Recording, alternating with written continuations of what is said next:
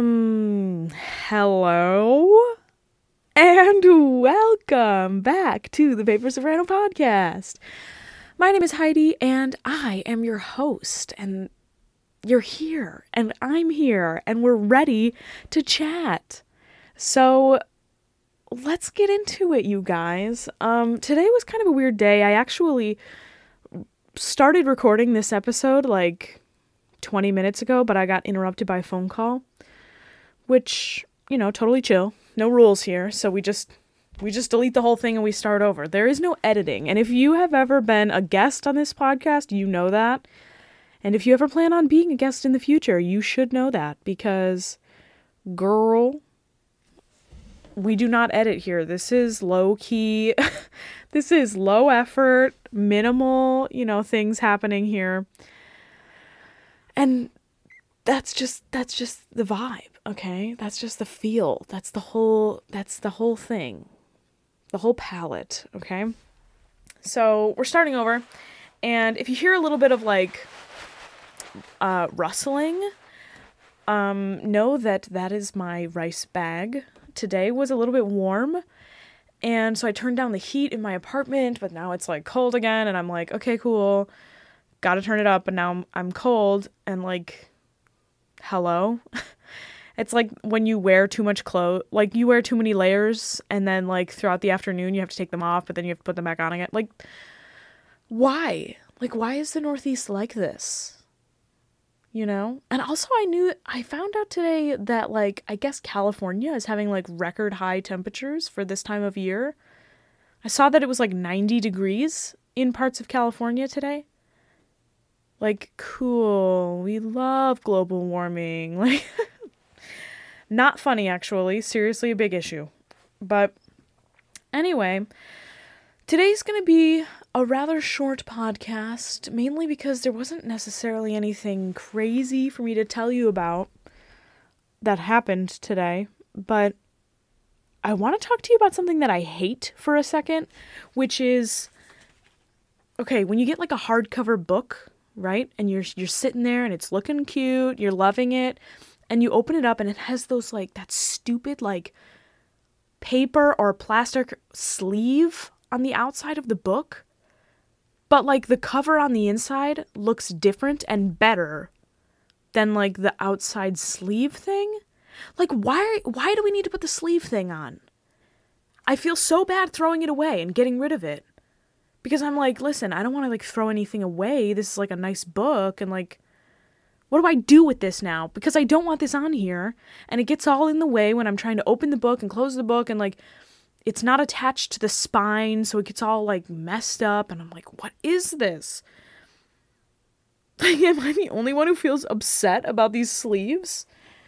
Like, I've got this one from the Beatles book that I just got that has like um it's like a, a story behind each one of their songs and I was using the book last night. I was killing it. I was like listening to my record player, hanging out, jamming out, rocking out. It was great.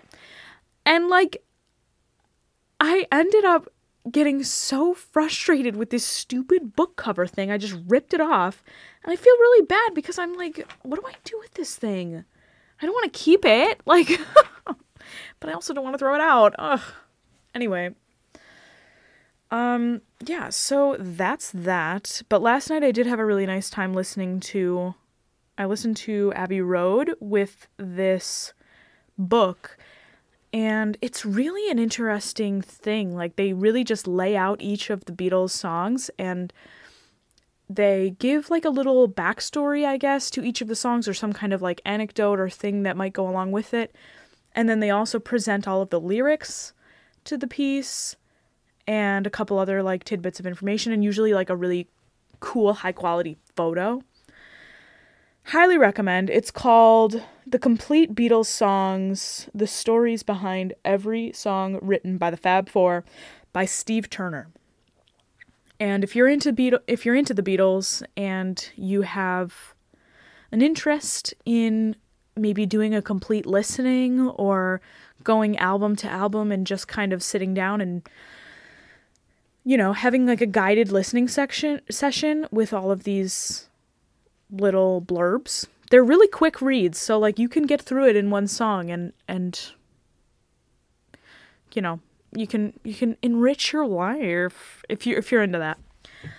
But anyway, speaking of enriching our lives, I have had a goal in mind for the past couple of weeks and that goal has been just to opt or utilize all of the things that I have currently. And I know that's a large task because we all have like little things here and there that we don't use or books that we don't use or um just things in our life that we're not really utilizing very much. And I think that that's really upsetting mainly because I don't know, I just I want things to be in my life intentionally. And that being said, I found this book today. I was reorganizing one of my bookshelves, and I found this book today called Minute Sketches of Great Composers. And I'm going to start including this on every podcast. And th- like it says, they're just a minute long. This is actually by. Who is this by? Um. Eva Eva B. Hansl and Helen Kaufmann. And it is 74 full page um, minute sketches of great composers, great to me in all uh, parentheses there, mainly because this is a relatively old book. I want to say it was written, let's do a little research here. When was this written? Copyright 1932, you guys. Yeah, and it smells like it. It's got that old book smell. You know what I'm saying? Like mothballs and like you know, you know the smell, okay? You know what I'm talking about, that old book smell. Um, I used to work in a library, so that kind of smell is very reminiscent for me. And yeah, man, we're just gonna read one of these sketches every day, and we're just gonna enrich our lives. So let's start with the first one here. All right, we're not gonna read the foreword because who reads the foreword? I'm just kidding. I'm not going to read you the foreword though. Um, I do I do usually read the foreword in many books. I don't know about you or like the introduction, blah blah blah, because I don't know. Maybe it's I have this like purist kind of dedication to authors where it's like I feel like I want to experience the book as they intended it. And some I know a lot of people who just like don't give a crap and they just like read past it or they skip it completely. But I will read that on my own and we're going to jump right in to the first one here, which is Giovanni Pierluigi de Palestrina. Yes. Palestrina here, you guys. Born 1525 and died 1594. It reads God's in his heaven, all's right with the world, is what young Giovanni Pierluigi might have sung one bright spring day about 1538 as he passed by the church of Santa Maria Maggiore in Rome, whither he had repaired for a day's outing from his hometown in, of Palestrina. So clearly and joyously did he sing that the priest at his orisons, orisons in the church promptly invited him to become a choir boy there, an invitation he promptly accepted. Later, he became an organist of the little church of San Agapito in Palestrina, from which he took his name, until he was summoned to Rome. And all the rest of his curiously quiet and uneventful life was passing was passed in writing music for the church and training choirs to sing it. He was wholly dependent for his livelihood upon the favor of the resigning of the reigning pope. Thus his first book of masses was fulsomely dedicated to Pope Julius, a kindly patron, while the glorious Mass of Marcellus, tendered Julius Julius's successor, was one of his finest. But Paul, his successor, was a sour soul who banished Palestrina from the choir because married choirmasters were displeasing to Mother Church. So, at the height of his powers, Palestrina was obliged to retire to poverty, illness, the wife he had married at 21, and their two children. In a few months, however, another church sought him out, and rightly. Church music had been in a bad way. The songs of the streets had invaded its purity and vulgarized the church service, and an august committee, the Council of Trent, having been in session for 20 years, trying to de- determine what would be done about it, now proclaimed that the masses of Palestrina, being the only ones which wholly embodied their ideal of pure music, should be used as models. No wonder his townspeople gave him a great demonstration when he was fifty. They marched through the streets of Rome, Palestrina at their head, singing in chorus the music he had written. Dang, okay. That music was perfect of its kind.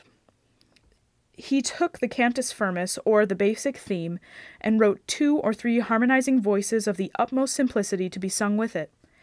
This laid the foundation for later polyphonic or many voiced writing. Without Palestrina, there might have been no Bach, no Beethoven. The little Princeps Musicae, gra- uh, graven on his, uh, his tomb in Rome, where he died February 2nd, 19, or 1594, marked him as the first prince of a royal lineage of church composers. Ooh, church music, yeah.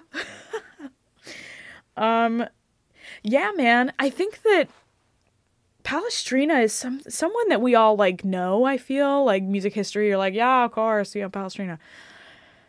But it is kind of interesting to me to think about you know, were these people for real? And when I think about historical figures like this who were so embedded into the church, like their whole livelihood depended on the church, and the church was such a huge you know, a huge part of these people's lives, not necessarily even just like religiously, but also financially. Um it's it's so interesting to me. I find I find this kind of thing very interesting and a lot of people who are not no no no on top of their music theory by any means, not not their own fault, but like they just don't ever learn about this kind of thing. It's like, "Oh yeah, all that old music is all religious." And it's like, "Well, no, but like the reason why it was printed and the reason why it was like copied copied down like written out by multiple people um, because I believe this is well before like printing, but I, I'm not exactly sure. But the reason why this music survived is because of its funding by the church. So, like, there was other music. Obviously, it mentions that, you know, the songs of the streets had invaded its purity and vulgarized the church service. Like, there were other pieces of music being sung in the church and stuff, and that that's super interesting. Um, but yeah, the reason why this other music survived centuries is just because it was written down. I I'm assuming, you know, like you can you can deduce these things. So and of course it was popular because it was heard, you know, people were performing it regularly and it was for a specific purpose and they were commissioned to write these things and very very interesting. So that was our minute sketch of the great composers of today. So we'll do another one tomorrow and we'll we'll do one every day. It'll be like a little a little advent calendar or something. I don't know. So, yeah, you guys, that's pretty much it for today. I feel very um not like exhausted, but I've been practicing a lot of this Haydn opera that I've been learning and um, also, doing a lot of organizing. I feel like January is one of my favorite times to just like get my act together. You know what I mean? Like just getting it all together, putting it in a basket, just putting it, putting everything that I got into a backpack, getting it all organized. That's what January's for. So I did a lot of cleaning today. Excuse me. I did we did a lot of not a lot we'll do some more practicing later but we did a good amount of practicing today and yeah i had a little bit of a weird moment right before i actually got back here to start recording the podcast, I just felt kind of like stuck in my day. And you know, when you're just kind of like cleaning or you're you're doing something and the morning gets away from you and you get into the afternoon and you're still doing that thing and you're just kind of like, eh, you know, I'll keep going. I don't necessarily have to go anywhere. I don't really have to do anything today. I'm not on like a time crunch for anything. And you you kind of just feel like a little bit stuck and you're like, ugh, I could just keep doing what I'm doing, but I also kind of want to do something else. Like that's kind of how I was today. So I did something that I don't normally do, which I've been doing a lot lately, just trying out new things, but I went for a drive and it was nice. I got my oil changed yesterday, so car's running real good. We love it. And I went for a drive. I went down down the road for a while. I didn't really make any turns, so I didn't have to really pay attention to where I was going or I didn't have to put on the GPS or anything. And it was nice. I just kind of cruised and I went out like at the perfect time so I could watch the sunset and it was like golden hour, which is golden hour is like at 3:30 now.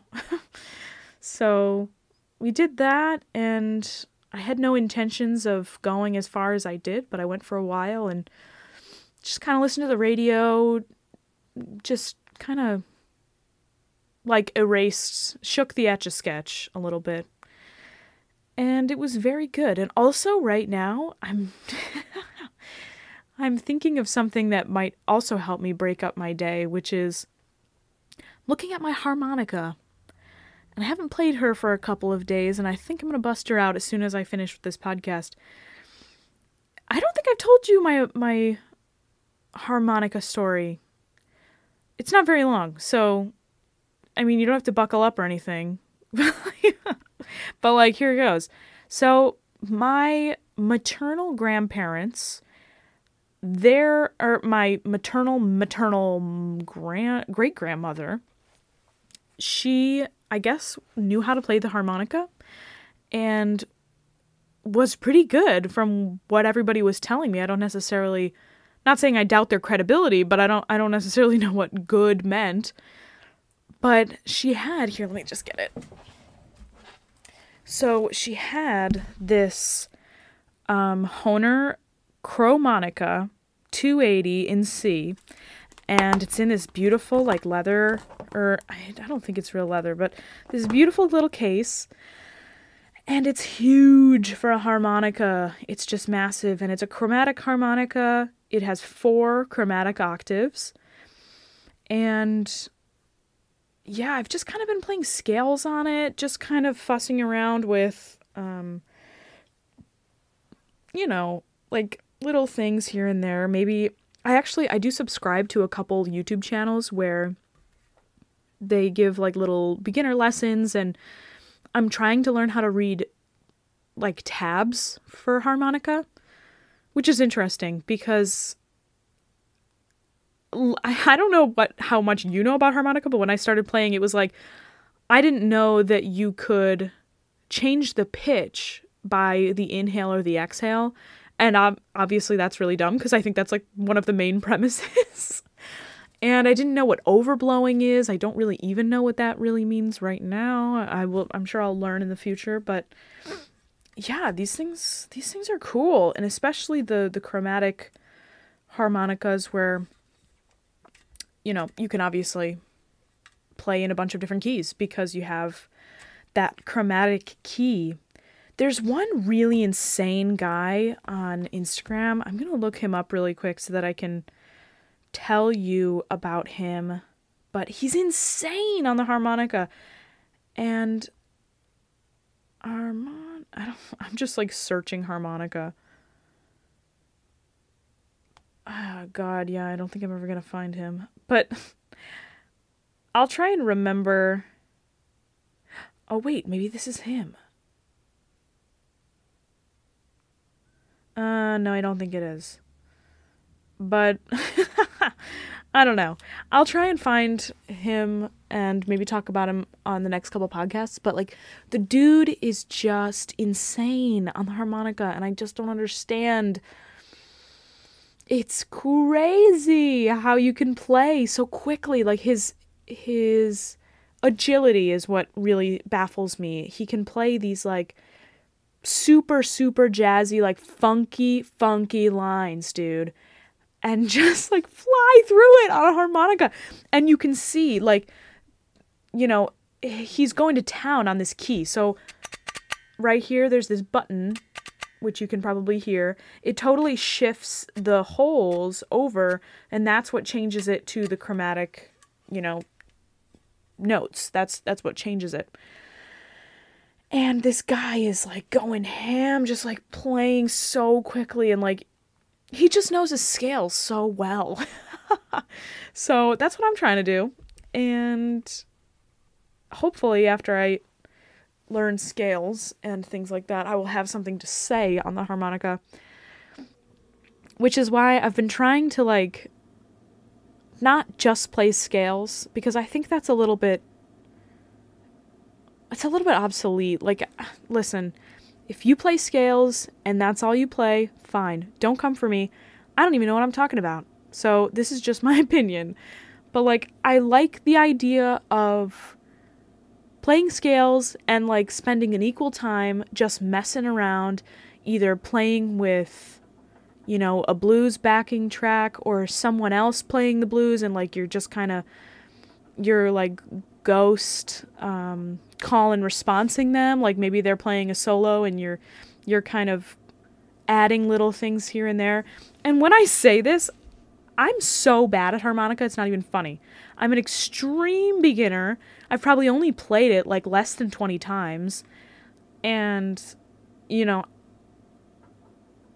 I I just feel like for me, I want to have not only the skills, but I also want to have something to say when I start developing those skills. You know what I mean? And yeah, I think that's that's my main goal. And not I'm not trying to say that people who don't do this kind of thing don't have anything to say, but I have known a lot of instrumentalists in my life who value playing scales over like a jam session or they value playing scales over just creating something and, and exploring and it's like you know you're playing scales so that you can do the other thing. It's not like you're just playing scales so that you can play scales with other people, right? Because that's like not what you're looking to do, obviously. So it's just frustrating when people get so fixated on.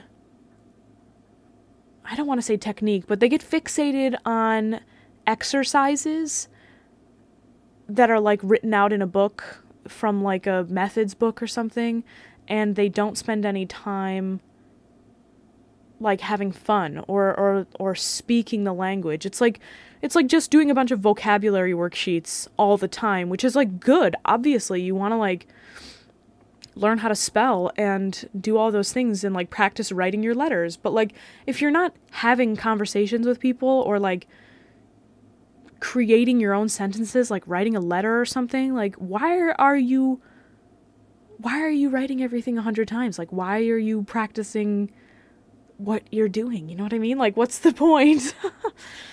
anyway, um, I think I'm gonna cut it off here because I do really want to play this harmonica now, and I'm gonna probs turn on some John Mayer. Not gonna lie, I do I do really appreciate his his content and what he says in his improvisations, even though you know, I'm not very good. so we're still going to do it. And yeah, you guys, that's going to be it for today. So I hope you enjoyed this little episode, this little abbreviated episode. And I hope you have a wonderful morning, afternoon, evening, or night, whenever you happen to be watching this. Thank you for listening. And I appreciate you and I, I, you know like go out and maybe go for a drive live your life do something that's going to enrich your life a little bit read that book that's been collecting dust you know put on that record that you've been wanting to listen to but for some reason your brain tells you not to listen to it i don't know do that thing just go out and do that thing You know what I'm talking about. You know, okay? Don't even try and tell me that you don't because you know. Um anyway, I got to go and I will talk to you all tomorrow. This has been, of course, the Paper Soprano podcast. I am your host, Heidi, and I never know how to end these episodes. So, thank you so much for listening. okay, love you, mean it. Bye.